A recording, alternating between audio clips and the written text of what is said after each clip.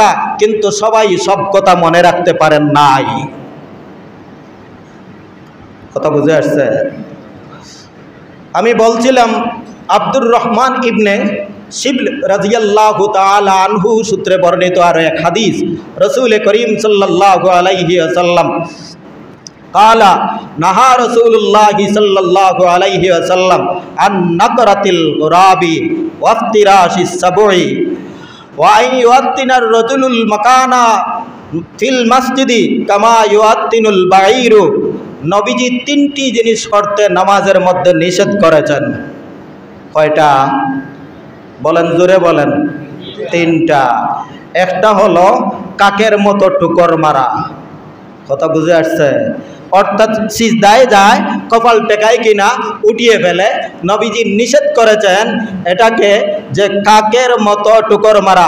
নাহা রসুল্লাহ সাল্লাল্লাহু আলাইহি সাল্লাম আন নকরাতিল গরাবি ওয়াফতিরাশিস সাবই। আর দুই খনি মাটিত বিছাইয়া সিজদা করতে নবীজি নিষেধ করেছেন। অর্থাৎ হিংস্র জন্তু শোয়ার সময়, বসার সময়, সামনের দুই হাত মাটিতে বিছাইয়া বসে, নবীজি এইভাবে সিজদা করতে নিষেধ করেছেন। তিন নম্বর বস্তু যে নিষেধ করেছেন, তা হলো মসজিদে জায়গা নির্ধারণ করা। ও আইও আত্মিনার রজুলুল মকানাল ফিল মসজিদি। আর কোনো ব্যক্তি মসজিদের মধ্যে তার নিজের জন্য কোনো জায়গা নির্ধারণ করতে নিষেধ করেছেন। আর নবীজি বলেন, এটা উটের অভ্যাস। আর অভ্যাস? বলেন, উট তার নিজের জায়গা ছাড়া আর কোথাও বসবে না। জায়গা নির্ধারিত করে নেয়।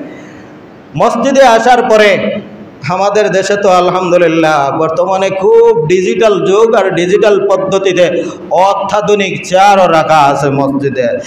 এই বাড়ির হাজি সাহেবের জন্য একটা চেয়ার এই বাড়ির মাতব্বরের জন্য আরও একটা চেয়ার এই বাড়ির চেয়ারম্যানের জন্য আরও একটা চেয়ার এই বাড়ির মুতল্লির জন্য আরও একটা চেয়ার সবার জন্য জায়গা নির্ধারিত চেয়ারও নির্ধারিত চেয়ারম্যানের চেয়ার সিলেক্ট করা আছে। কিছুদিন আগে অভ্যাস ছিল যে প্রায় মসজিদে যাওয়ার পরে দেখতাম যে মুতল্লি যতক্ষণ পর্যন্ত মসজিদে আসবেন না, ততক্ষণ পর্যন্ত নামাজের সময় গেলেও আর এখানের মধ্যে দাঁড়ানোর কোনো সুযোগ নাই। আমি নিজে প্র্যাকটিক্যাল ফিল্ড আমি পরীক্ষার পরিদর্শক হয়ে গেছি।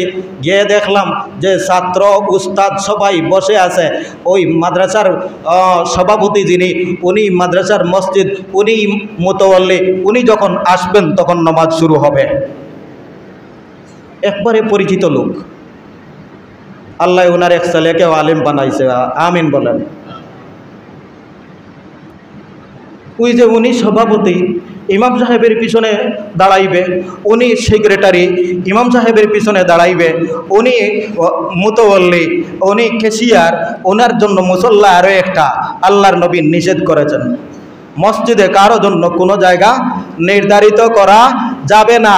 যেখানের মধ্যে জায়গা পাবেন, সেখানের মধ্যে নামাজ পড়বেন। যে আগে আসবে, তারই জন্য প্রথম কাতার, প্রথম কাতারের সব বেশি রয়েছে। যে আগে আসবে, সে পাবে। তুমি মসজিদের দাতা, তুমি মসজিদের কর্মকর্তা, তুমি এলাকার মাতব্বর, তুমি দেশের কোনো মাতব্বর, তোমার মাতব্বরই চলবে না, ফজরের নামাজে তুমি আসো না। এশিয়ার মতোল্লি সেক্রেটারি বদরের নামাজে পাওয়া যায়। হ্যাঁ শুধুমাত্র শুক্রবারে বড় বড় গলায়, বড় বড় কণ্ঠে কথা বলার জন্য শুক্রবারে মতোল্লি সাহেব ওনাকে আবার ইমাম সাহেব খুব ভালো করিয়া উপস্থাপন না করলে আমাদের মতো অল্লি সাহেব আপনাদেরকে কিছু বলবেন? ওনার ইচ্ছা মতো মন গড়া ফতোয়া কিছু দিয়ে গেলেন। ইমাম সাহেবের পিছনে দাঁড়াইবে, আমি প্রথমে বলছিলাম যে, ওয়াইল ইবনে হুজর রাদিয়াল্লাহু তাআলা আনহুকে নবীজি ওনার পিছনে দাঁড় করাইছেন, যদিও নতুন সাহাবি, যদিও যুবক সাহাবি, যদিও কিছু জানেন না, কেন দাঁড় করাইলেন? ইসলামী বিধিবিধান শিক্ষা দেওয়ার জন্য, আর কিছুর জন্য নয়।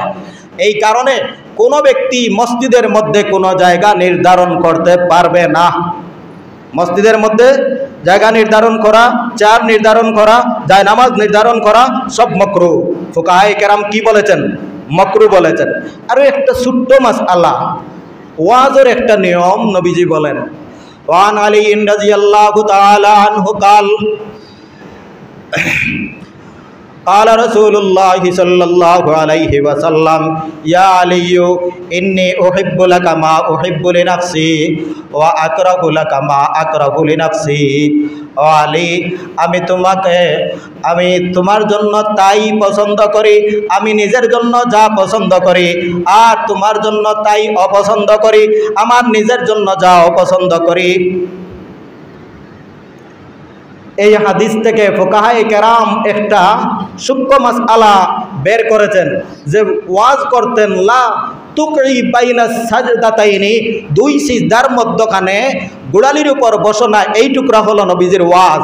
কিন্তু উপদেশ, নিয়ম বর্ণনা করা, কিন্তু এর আগে একটা, এমন একটা ভূমিকা টানলেন, যারা ওয়াজ নসিহত করবে, যারা ছাত্রদেরকে শিক্ষা দান করবে।